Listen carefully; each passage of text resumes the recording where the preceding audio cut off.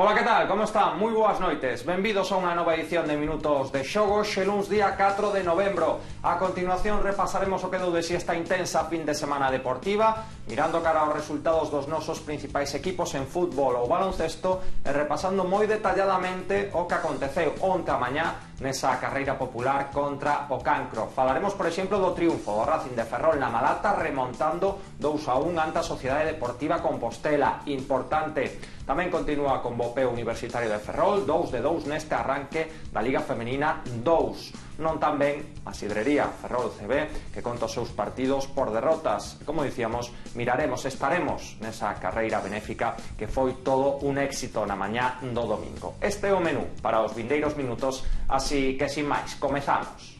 Música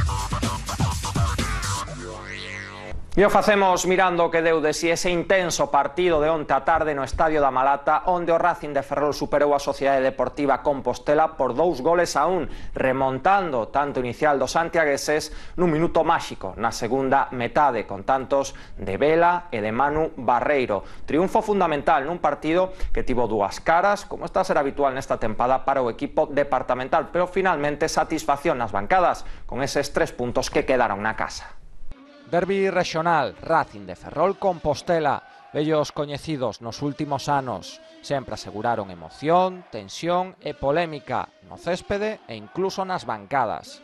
Onte non foi unha excepción.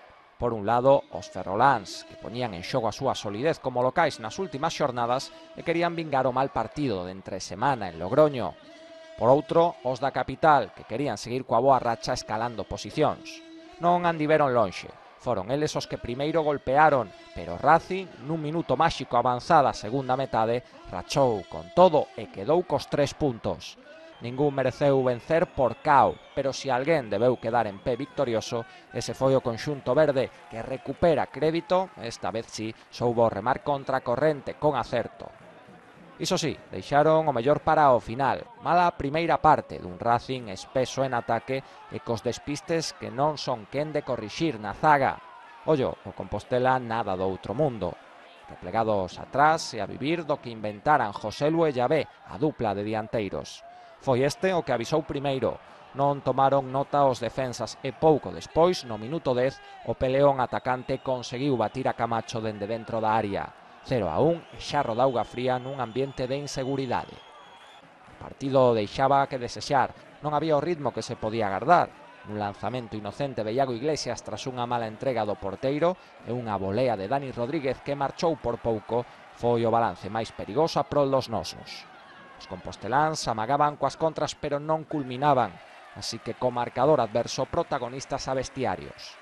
Non houbo que agardar para ver o cambio de actitude do Racing. Saíron cunha intensidade que se botaba en falta e comezaron a dominar o balón en campo contrario. Vela foi un puñal pola dereita. As ocasións apareceron, pero faltaba o remate. En fronte, un rival que parecía cansado. Aira deu entrada a Marcos, máis Madera, e o que estaban a merecer os nosos chegou. E fixo en 60 segundos explosivos, primeiro con polémica, dobre ocasión, balón o longueiro, e no rexeite toca forte coa testa, o esférico lle chega a vela que vende fora do campo e ante o suposto fora de xogo a defensa se para, os atacantes tamén e o menudo xogador herculino, o máis listo, consegue o empate.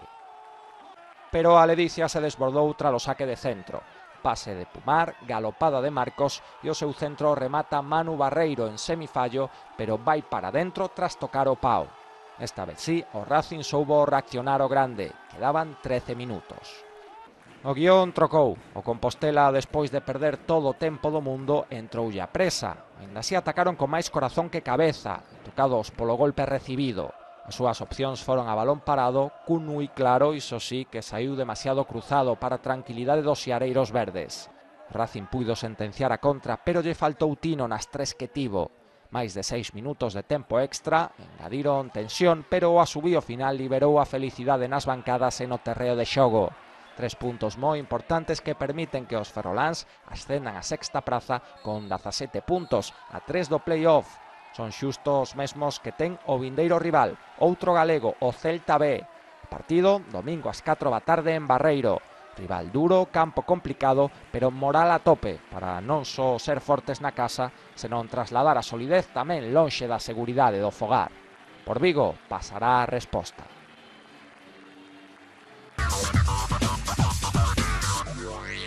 Vemos e escoitamos tamén os protagonistas na zona de vestiarios, por exemplo, o adestrador José Manuel Aira falando desas dúas caras que tivo o equipo e que esta vez sí reaccionou e non se veu abaixo co tanto do equipo rival e tamén o goleador Amanu Barreiro que deu o triunfo con ese tanto en semifallo con Postelán de nacemento pero racinguista en todos os efectos a nivel deportivo. Os escoitamos. La verdad que hemos tenido otro ritmo, otra otra intensidad en, todo lo que hacíamos, pero bueno, tampoco la primera parte es verdad que, estuvimos eh, con, menos ritmo, un poco más apagados, pero creo que no merecíamos ir perdiendo tampoco al, al descanso. Creo que la primera parte fue un poco de tanteo por parte de los dos equipos, un poco sosa, yo esperaba un partido de más ritmo, de más intensidad y creo que, que, el resultado justo al descanso hubiese sido 0-0, pero bueno, siempre es nuestro, nuestro caballo de batalla, siempre concedemos algo, aunque el rival no, no lo genere, se lo, lo, concedemos nosotros. Y bueno, y el, la segunda parte pues, ha sido una segunda parte muy completa en, en todos los sentidos y creo que nos hemos ganado el, el poder conseguir los tres puntos con, con merecimiento. Pienso que, aparte de estar en línea de ataque, generar muchas situaciones de, de peligro, mmm, tampoco hemos concedido eh, ocasiones claras al Campos en esa segunda parte, salvo algún balón eh, dividido o alguna, alguna pelota parada que, que ha habido en un córner, pero hemos estado solventes. Entre las dudas porque eh, vuelves a conceder un gol por, por deméritos tuyos, no por méritos del rival. Entonces eso siempre genera, genera duda, genera incertidumbre, pero hoy por lo menos hemos sabido reaccionar. El otro día en Logroño el primer gol nos sacó del partido y desaparecimos. Eh, tiramos por la borda 70 minutos o 80 minutos de partido porque el primer gol en Logroño fue en el minuto 10 y nos hizo desaparecer, fuimos un equipo que, que no compitió y hoy eso sí lo hemos tenido y volvemos a ser un equipo competitivo, volvemos a, a tener opciones de ganar los partidos y eso es lo que debemos hacer todos los partidos. Después el resultado al final te acompaña o al final no, pero lo que tienes que ser de, del minuto 1 al minuto 90 es competitivo. Sí, yo creo que, que devuelve otra vez a, a la buena línea que, que, venía el equipo antes del partido de Logroño, que nos devuelve credibilidad y que espero que sea también eh, un paso hacia adelante y que le demos continuidad, porque creo que que, bueno, que la competición está muy igualada y que el ser ambicioso y el, y el optar a, a, poder estar enganchado ahí arriba, primero nos va a llevar a, cumplir el, el, objetivo de la salvación con, con, solvencia y a partir de ahí eh, hay que soñar y, y, hay que competir y hay que tener ganas siempre de, de intentar quedar lo más arriba posible en cualquier competición que disputes. Sí, Eh, la verdad que después del partido de, del miércoles teníamos un partido súper complicado en casa contra el Compos, que es un muy buen equipo y, y es lo bueno ¿no? de, de que hay partido entre semana, ¿no? que no te da mucho tiempo a pensar en, en, la, en la, derrota y bueno, queríamos ganar en casa sobre todo y, y bueno, se, se, consiguió. Sí, sí que nos está costando un poco eso, ¿no? que estamos encajando en casi todos los partidos y y eso en segunda vez es complicado, ¿no? porque hacer goles es muy difícil. Hoy tuvimos un, un minuto de inspiración, y, remontamos el partido, ganamos, conseguimos la victoria que era lo que queríamos y, y bueno, tenemos que intentar mejorar esas cosas que, que nos, nos, nos, meten en muchos problemas, no hacer tantos goles. Sí, va a ser otro partido muy complicado, que ellos van a ser un filial, eh, si tienen un buen día es muy, muy difícil ganarles, pero, pero bueno, no tenemos que que renunciar a nada porque estamos en una situación muy buena ahora, si conseguimos sumar o ganar allí, pues, eh, pues jugamos un partido aquí en casa, pues dos seguidos y, y sería un, unos puntos muy importantes porque son dos semanas que, que aquí en casa somos fuertes y podemos sacar los seis puntos. Deixamos por un momento os deportes de equipo porque onte a mañá Ferrol volveu a respostar con solidaridade e deporte.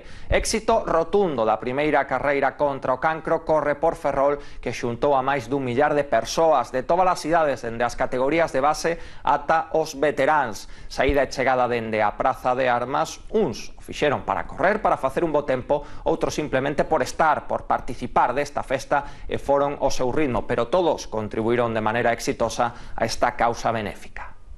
Éxito rotundo da primeira carreira contra o cancro corre por Ferrol. Por todo, pola altísima participación, polo ambiente, polo clima que axudou. Esta nova cita deportiva e benéfica sobrepasou as expectativas e deixou unha mañá dominical con moita xente nas rúas.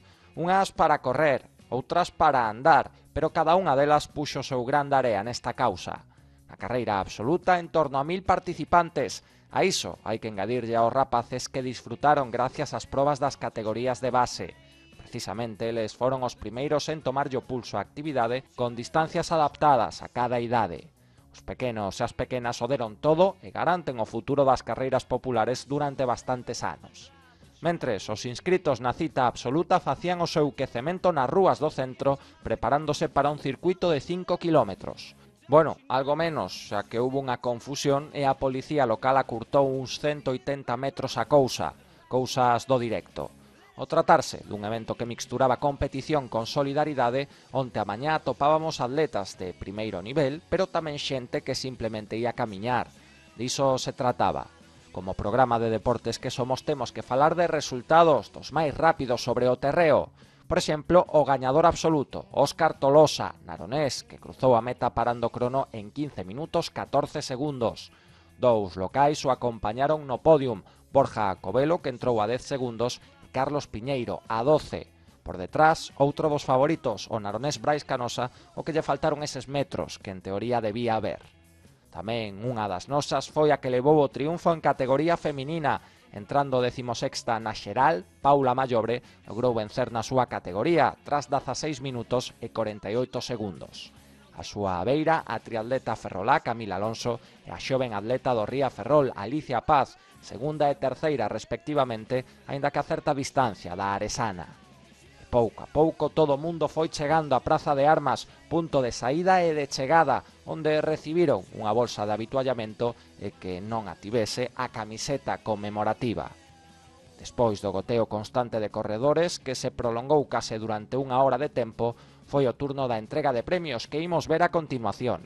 Antes, só queda confirmar de novo o gran éxito desta carreira contra o cancro dunha primeira edición que visto visto vai ter bastantes máis por diante e que, ademais do plano deportivo, deixa unha boa recaudación para a Asociación contra o Cancro para que na nosa comarca poda seguir desenvolvendo seus diferentes proxectos que tanto ben fan e a tanta xente.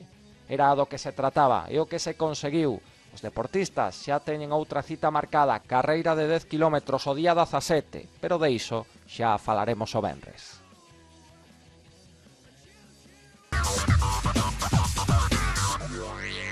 E decíamos que íamos a ver a entrega de trofeos e así é, dende aquí tamén rendimos particular homenaxe aos vencedores dentro de algunhas das diferentes categorías, dende os máis pequenos ata os absolutos homes e mulleres, o vemos.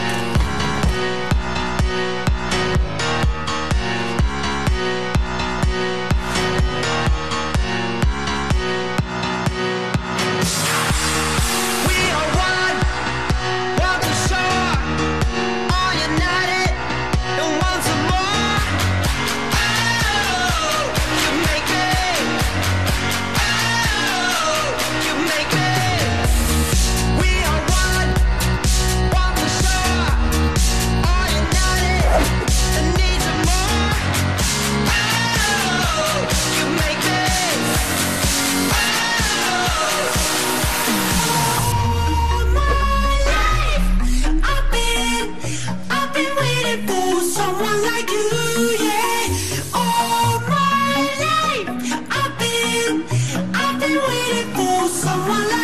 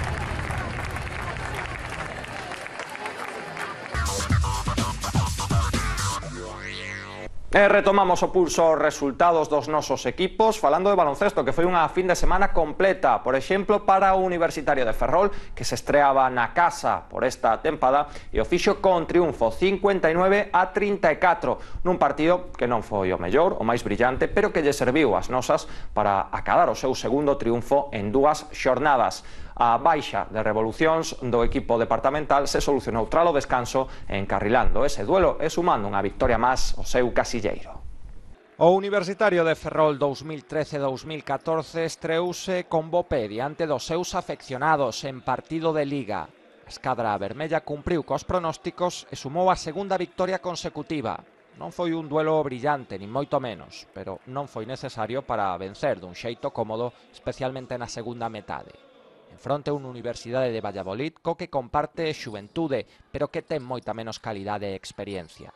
Pesa todo, as visitantes deron a cara levando o xogo seu terreo, pouco ritmo, defensa e anotación baixa. Sen embargo, nin o Uni creía realmente que podía perder, nin o Valladolid creía que puidera gañar. Así que o 59 a 34 final é unha consecuencia lóxica do potencial dunha e de outras o 60%. As ferrolás conseguiron marchar de Esteiro co triunfo, que era o que se trataba, deixando a gasolina para futuros compromisos máis exixentes. Sabéndose superiores, as xogadoras dirixidas por Lino López saltaron a pista con certa relaxación, Imprecisións en ataque e despistes atrás marcaron uns minutos onde as pucelanas tampouco sacaban moito proveito debido ás súas limitacións. Incluso o adestrador Ferrolán tivo que pedir un tempo para chamar a orde. 14 a 12 para un Uni que non espertou no segundo parcial. Ainda estivo máis espeso en ataque, xa que coas rotacións non se encendeu a chispa do xogo dinámico que aspira a desarrollar o equipo. Dous puntos máis de renta e un 25 a 21 camiño vos vestiarios que deixaba claro o que se estaba a ver sobre a pista, que era moi mellorable. E mellorou tralo parón, sen alardes. Os últimos intres do terceiro cuarto, as vermellas aplicáronse algo máis, O dominio do rebote estaba a ser clave e foi un factor decisivo para levar a vantaxe por riba dos 10. Cun colchón tranquilizador tocou sentenciar no último parcial, onde o ataque estivo máis acertado ante un rival que non era quen de sumar, ben fora polo acerto da defensa, ben fora polos erros propios Ao final eses 25 de distancia nun duelo que non lembrarán os seguidores universitarios apartado estadístico, salientar unha vez máis a estadounidense Ashley Arlen con 15 puntos e 17 rebotes que xuntos 15 tantos de Marta Atudanca serviron para revitalizar o xogo ofensivo cando foi necesario a corrixir o elevado número de perdas de balón ante un Valladolid que tampouco exixiu tanto. Así pois, dúas xornadas e dúas victorias, engadidas as da Copa Galicia, que mostran o bo estado do Universitario de Ferrol, metido no grupo de arriba dunha clasificación aínda pendente de aclararse máis. E o fará, sin ir máis lonxe, a vindeira fin de semana. Partido moi diferente a este, partido ante outro dos sinalados como favoritos do grupo, o Cáceres, a seis da tarde no pabillón Juan Serrano Macallo, en terras extremeñas. Un rival que arrancou do mesmo xeito, dominando e que poñerá a proba a solidez das ferrolás. Destaca a súa forte defensa e un plantel con experiencia e xogadoras foráneas. Será outro cantar. O Uni viaxará o Benres para afrontar ilusionadas un deses encontros que, pese ao cedo que chega, permitirá calibrar con maior exactitude a súa evolución nestas primeiras semanas.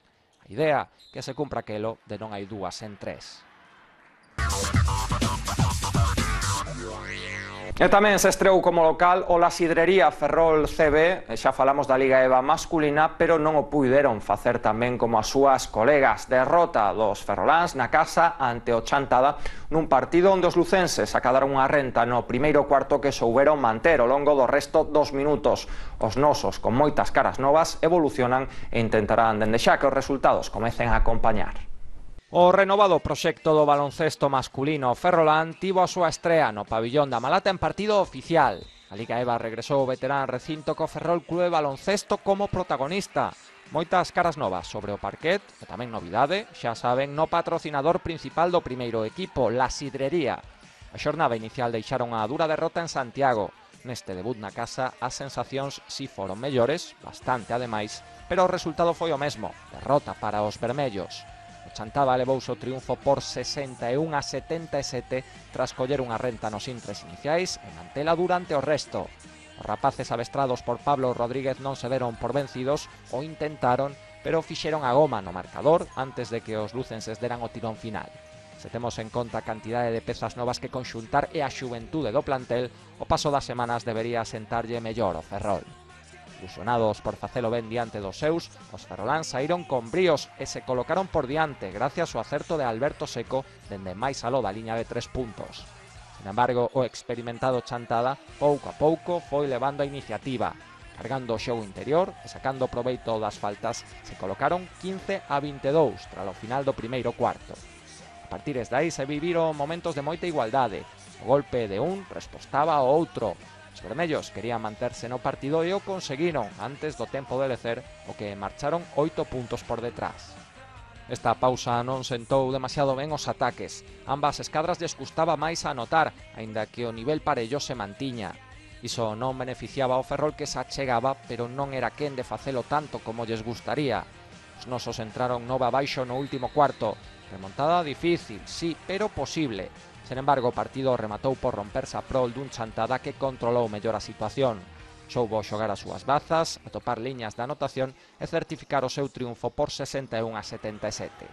O dito, para o Ferrol, mesmo resultado que sete días antes, pero distintas sensacións, mellores sensacións. O base ferrolán, Alberto Seco, levou o peso en ataque. Moi inspirado nas triplas, sumou 21 puntos. O canario Gabino Brito contribuiu con 16 máis. Segunda derrota en dúas xornadas, pero a liña a seguir está marcada. Queda continuar traballando, botándolle horas e agardar a que se reflexen os resultados. O cadro departamental mira xa cara o vindeiro compromiso que marca o calendario e que lles obrigará a desplazarse moi pouco. Toca derbi en Narón, principio sábado a seis e media da tarde no pabillón da Gándara. Un equipo laranxa que apostou por experiencia e que ten en Marcos San Esteban e Armenio Pazos quizáis a mellor parella interior do grupo. O seu triunfo na Copa Galicia hai que engadir un balance de unha e unha no que levamos de Liga, o que o deixa como un rival dos máis fortes. Chega pronto este curso a primeira das citas Ferrol Terrás, onde con obxectivos diferentes, uns e outros intentarán quedar co triunfo. Non o terán doados de Ferrol que non parten coa etiqueta de favoritos, pero que intentarán dar a sorpresa ao outro lado da Ponte das Cabras. Pois ata aquí chegou esta nova edición de Minutos de Xogo xe luns día 4 de novembro. Nos voltamos, como saben, o Benres, a mesma hora, aquí en Televisión de Ferrol para falar do sucedido esta semana e tamén mirar cara resultados que aínda temos pendentes. Xa avanzamos, haberá máis carreiras cunha cita que terá lugar o vindeiro domingo 17, da que falaremos detenidamente xa no programa do Benres. Xa saben tamén www.tvferrol.es aí o enlace ao canle de YouTube desta televisión para repasar este e outros programas. Nada máis, pola nosa banda, que pasen unha feliz noite. Adeus. ハハハハハ!